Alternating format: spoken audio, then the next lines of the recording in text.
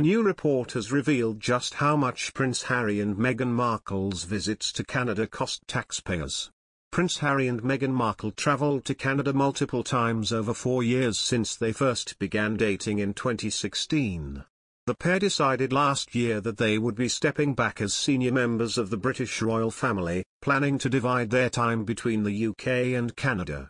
The couple ultimately settled down with son Archie, and later daughter Lilibet, in a mansion in Montecito, California.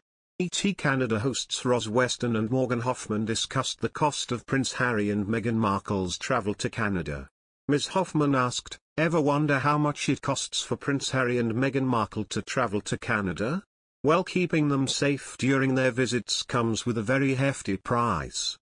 Mr. Weston added, I don't know what that price tag is, but I know whatever it is, it's gonna infuriate people.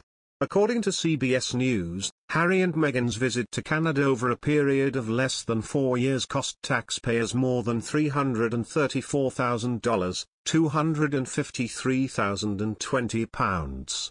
Ms. Hoffman said, Wow, and documents from the RCMP revealed that taxpayers forked out over $182,000, £137,880, for security-related costs when Harry visited between April 1, 2017 and March 31, 2018. This also includes Harry and Meghan's first public outing together at the 2017 Invictus Games in Toronto. Mr. Weston said, yes, and taxpayers also paid nearly $33,000, £25,000, a month to protect Harry and Meghan and baby Archie when they travel to Vancouver after announcing that they will be stepping down as senior royals at the beginning of 2020.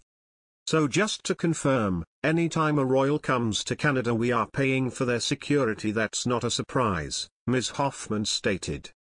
Mr. Weston added, no, I think that the shock is when they were here in Vancouver hiding when they had stepped back because it was the notion was that the government of the RCMP, whatever it was, wasn't going to pay at first.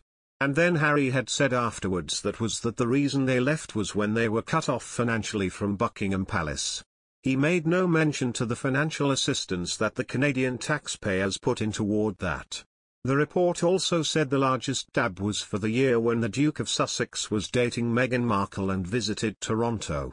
In their infamous interview with Oprah Winfrey in March, the Duke and Duchess of Sussex expressed serious security concerns for their family. Prince Harry and Meghan were set up on a blind date in 2016. They enjoyed around five months of secret dating before the story was leaked to the press later in the year. The pair stated, we were introduced actually by a mutual friend. The royal couple share some 2.4 million Instagram hashtags between them, nearly seven times more hashtags than the average for all royal couples.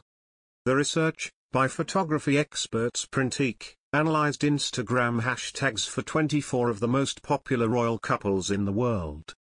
Prince Harry and Meghan came out on top, with a spokesperson for Printique saying, Prince Harry and Meghan Markle are a royal inspiration when it comes to romance. They constantly prove life in the spotlight is no match for their priorities of love and happiness. Also, for their commitment to a flourishing family life. It comes as avid monarchy fans spotted a secret message hidden on the couple's wedding car, which they used to drive to their evening reception when they married in 2018. On that day, Harry and Meghan set off from Windsor Castle to Frogmore House in a blue Concept Zero E-Type Jaguar, with Harry at the wheel. The sports car was originally manufactured in 1968 but has since been converted to electric power. In a blink and you'll miss it moment, the car registration plate on the vehicle read E190518. And royal fans claim the E stands for established, with the other numbers being the date of their wedding the 19th of May 2018. Taking to Twitter yesterday, one fan wrote, I am so embarrassed. I was watching the royal wedding for the 200th time and it's only now that I noticed the license plate and it's only now that I